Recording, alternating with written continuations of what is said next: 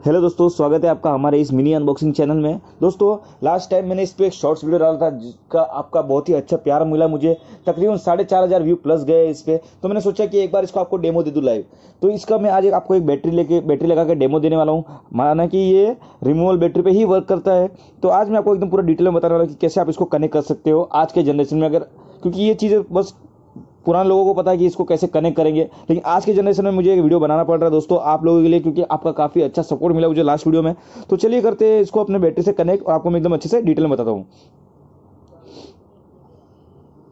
तो ये कुछ इस प्रकार की तीन लाइट रहती है इसमें दोस्तों। पहला ब्लिंक होता है, पहले हमको ये बताएगा कि हमारी बैटरी एक्टिव है कि नहीं। ये मार्केट ओरिजिनल बैटरी दोस्तों नोकिया की। इसमें जो तीन लाइट है, पहले हम बताएगा कि बैटरी हमारी एक्टिव है या डेड है। अगर बैटरी के ऊपर रेड लाइट आ रही तो इसका मतलब बैटरी एक्टिव है। इसमें प्लस माइनस वायर हमको प्लस और माइनस वाला जो स्लॉट है, उसको टच करना पड़ता है।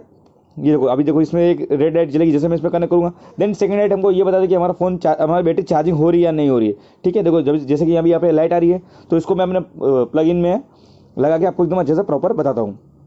पीछे से ये इसको हम अच्छे से कर देंगे। ये देखो सामने आपको, मैं लगा रहा हूँ।